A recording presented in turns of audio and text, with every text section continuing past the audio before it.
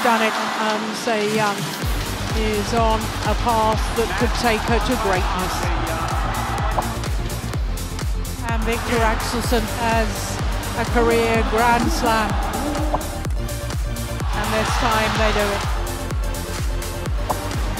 And the first Super 1000 title. And they looked every inch world champions today. Hello and welcome back to another episode of Badminton Weekly with me, Jasmine Lim. Time has flown by, hasn't it? We just saw the conclusion of the very last Super 1000 event on the calendar, the Victor China Open. And as always, the players dished out their very best, treating us to top quality badminton all throughout the week. And to highlight some of the best action, especially from the final Sunday, I'm delighted to welcome back Scotland's number one, Kirsty Gilmour. Thanks so much for joining us today, Kirsty. Thank you for having me. Hi. Let's dive straight into the men's singles category. Now, we know home support could be a huge advantage, and we were expecting the Chinese players like Li Shifeng and Shi Yuqi to go far. But were you surprised that it's Lu Guangzu who represented the host in the finals? I was honestly a little surprised, um, although I did commentate on his match against Tsuneyama uh, in the quarterfinals, and the first set he was nowhere. He was not in it. And then as soon as Shi Yuqi's match finished on the court next to them, all of the, the arena support turned to Lu Guangzu and his performance went through the roof and he just brought something else to that match. I think what we've seen has been really great from Lu Guangzu through this whole tournament is his ability to build the rallies, play a little game of chess and then find that attacking opportunity. And I think we saw it really not so much in the quarterfinal, especially in that first set. But since then, I think that's what's gotten him through his quarter, his semi, and his final. And I think he did that very well against Viktor also. But Viktor's maybe one of the most difficult people in the world to do that against. But it's a really, really nice feature of his game to um, be able to find those sharp attacking opportunities. Lu, of course, took on Viktor Axelsen in the final showdown, and unsurprisingly, the world number one was the heavy favorite going into it. The Big Dane was looking to bounce back from a rather disappointing world championship and had his eye on completing his Super 1000 Grand Slam as well. Despite Lu's fierce challenge, Axelsen's experience was the key in this final, wasn't it? I think so. I think there's a definite art to winning a final. and I think there's an art to winning final after final after final and, and all those titles. So I think Viktor would have had that, that quiet confidence that he always has, uh, always has. And I mean, I think only a fool would bet against Viktor Axelsen in a in a Super 1000 final. Um, so yeah, incredible uh, statistics on that for him to win every Super 1000 that has been available to collect. He has them all in his trophy cabinet. So yeah, that, a really historic day for Viktor.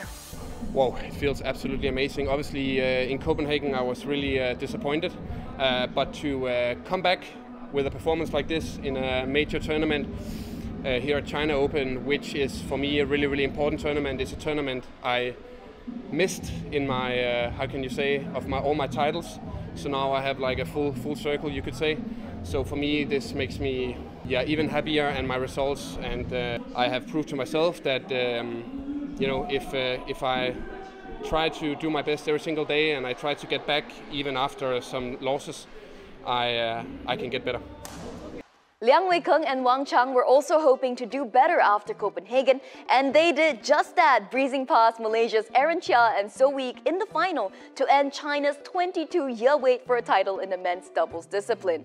What do you think of their performance throughout the week, and did their hard-fought victory against Takuro Hoki and Yugo Kobayashi in the last four give them the confidence boost they need to seal this? Yeah, absolutely. This has been a really great tournament for Liang and uh, Liang and Wang. I think they've only dropped one set in this whole tournament against uh, Hoki and Kobayashi. I think coming through and beating that strong pair was really, really important, and it gave them really good momentum going into that final. To just to know as a player that even if things get tight and a little bit sticky, that you have it in you to make it through is actually like a really big confidence boost rather than an energy drainer. So yeah, I think they would have had a nice confidence going into that final. And then I think the situation in the final uh, with Chia and Soh, I think Soh, I don't think he was feeling his absolute best, but I think he didn't want to not play. So he gave it his best, and I think that shows like real, real grit and determination from from his part. But yeah, even so, uh, Liang and Wang have been solid all week. To show up to a home tournament and execute these wins back to back and seal off that title in front of a home crowd and maybe even in front of like friends and family, just to, to go on court and, and have all those eyes and all those people that you really know and you can hear people that you know in the crowd it means so much to you as a player. So to win a title at home, especially when it's a Super 1000, will uh, they'll be happy boys tonight, I'm sure. Now, Team Korea also had plenty to celebrate after An Se-young and Seo Sung-jae, along with his mixed doubles partner Chae Yu-jung, also walked away with titles in their respective categories. We are running out of superlatives for An. Her amazing year continues as she walks away with her ninth title of the year. But you have to say, Akane Yamaguchi didn't really challenge An that much in the final. I think with Akane, she has maybe struggled in the last few months with that like consistent, the, the quite the same consistency as An Se-young, but that is uh, like that this is the highest standard for consistency that we've ever ever had. To be doing this at 21 years old as well, like what's next? What more can we see from her? And to talk on uh, Akane Yamaguchi's maybe motivation I don't know how you go on court and essentially play against a brick wall. Um, that's kind of what An Se-young is bringing to the table right now. And I think something that has progressed through the year, uh, this calendar year especially, is her attack. I think she used to be a little bit more of a, of a passive player, let you come at her and you will exhaust yourself. But now she's got some little sting, actually they're not little stings, they're really sharp, aggressive uh, shots, um, but she has that factor of her game as well. So all the other lady singles players, myself included, I will put myself in this category, we're sitting scratching our heads thinking, how do we beat her? Because right now she's indomitable. We'll hear more from Kirsty later on in the show, but just as An Se-young brought pride to Korea, Seo Sung-jae and Chae Yu-jung also gave the Koreans another reason to celebrate winning back-to-back -back titles. That, along with the incredible atmosphere throughout the week, definitely left an impression on BWF commentator Shazad Haq, who was on site to witness it all firsthand. Here is Shazad to share with us more. You know, I think the atmosphere has been uh, absolutely amazing. It's clear that without three years of of action here in badminton in, in China that the crowds have come back in droves, right? They've been starved of top level action. They've been probably watching it on TV. So to finally have a Super 1000 tournament back here in China, it's very clear how the fans have reacted to it. It's good to see also supporting non-Chinese players. And even in our team hotel, you can see the reaction. We've had so many fans line up, waiting to get a glimpse of, of their stars. They're asking for the autographs, photographs, any opportunity to meet them, and the stars have been obliging. So the atmosphere has been brilliant. But the one I really want to talk about is Seo Sung-jae. He's just won two world championships, which in itself we know is very, very hard to do. It's been a long time since someone has done what he's done. And then look how well he's done here in China. Now, we looked into more detail. First of all, in the uh, mixed doubles, uh, beating Huang Yaqiong and Zheng Siwei again, having never beaten them in nine previous meetings and now done it twice in as many weeks. That's so impressive. And then look, he was facing match point in the men's doubles against Wang Chi-lin and Lee Yang. So he's got staying power. You know, another famous Korean back in the day, Manchester United's Park Ji-sung, he had a nickname, Three Lungs. Why? Because he could run all day long. I want to apply four lungs to this guy because he is non-stop. The kind of energy that's required. And by the way, the conditions are quite tough in there. It's warm in there, but he's showing stamina, endurance, a lot of character. He is someone who is so, so standing out. And we've got to keep an eye out for him as well in a few weeks' time. He's got the Asian Games coming up. So Seo Seung Jae is definitely for me the player of the tournament. 어, 저희가 여기 높은 대회에서 우승을 한 적이 솔직히 없, 없었는데 장, 저번 세계선수권 이후로 좋은 경기력을 유지하면서 이번 대회까지 솔직히 우승할 줄은 몰랐지만 그래도 어, 우승하게 돼서 너무 기분이 좋고 어, 근데 또 우승한 거는 우승한 거고 이제 또 다음 대회가 또 있기 때문에 거기에 맞는 경기력으로 준비할 수 있도록 하겠습니다.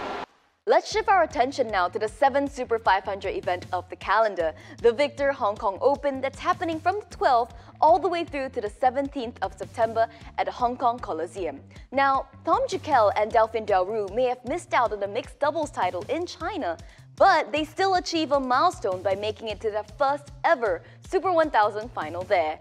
Drawn to play Indonesia's Dejan Ferdinansyah and Gloria Emanuelle Widjaja in the opening round, do you think the French pair can extend on their good run and perhaps go one further in Hong Kong?